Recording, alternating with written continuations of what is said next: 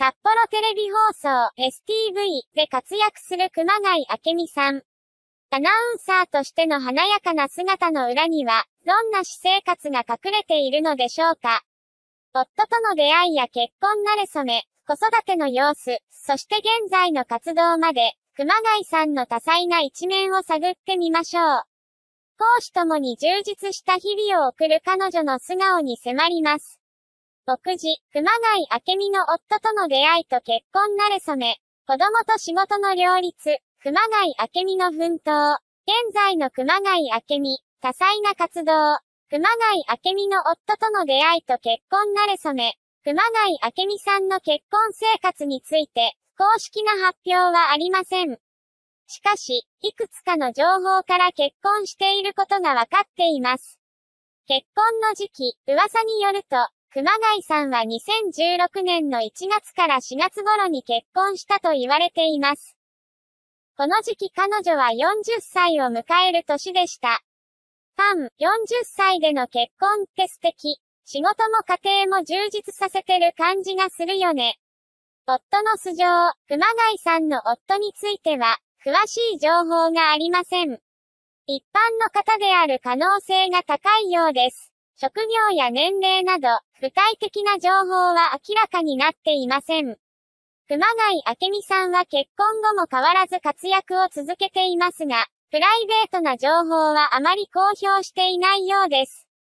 熊谷明美さんは2016年頃に結婚したと噂されている。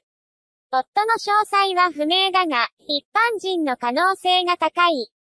プライバシーを大切にしており、結婚に関する公式発表はない。子供と仕事の両立、熊谷明美の奮闘。熊谷明美さんには子供がいるようです。しかし、子育てに関する詳細な情報は限られています。出産と育児休暇、2017年2月20日、熊谷さんは自身が出演するラジオ番組、丸ごと。エンタメ、ションで第一子の妊娠を発表しました。その後、出産を経て2018年4月5日にアナウンサーとして復帰しています。ファン、仕事と育児の両立って大変そう。でも明美さんならうまくやってるんだろうな。子育てエピソード、熊谷さんは子育てに関する話題をあまり公にしていません。しかし、仕事と家庭の両立に奮闘している様子が伺えますね。熊谷明美さんは子育てをしながらも、アナウンサーとしての活躍を続けています。2017年に第一子を出産。2018年4月にアナウンサーとして復帰。子育てに関する詳細な情報は少ない。ちなみに、フリーアナウンサーの宮田愛子さんは、ブログで熊谷さんと息子さんのツーショットを公開していましたね。現在の熊谷明美、多彩な活動。熊谷明美さんは現在も札幌テレビ放送 STV で活躍を続けています。ラジオとテレビの両方で様々な番組に出演しています。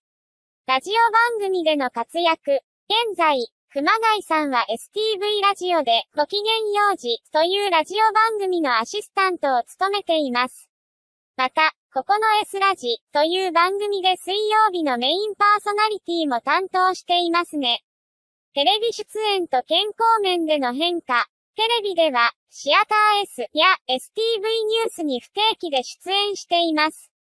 2024年1月には、自身が担当するラジオ番組内で、健康診断で治療を要する事項が見つかり、通院や入院のため番組を休むことが多くなると報告しました。ファン、明美さんの健康が一番だよね。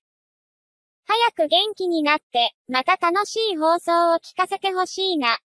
熊谷明美さんは、健康面での変化を乗り越えながら、現在も精力的に活動を続けています。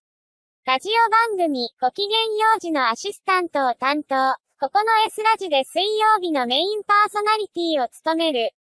テレビ番組にも不定期で出演。熊谷明美さんは、結婚や子育てなど私生活の詳細を明かしていませんが、アナウンサーとしての活躍は目覚ましいものがあります。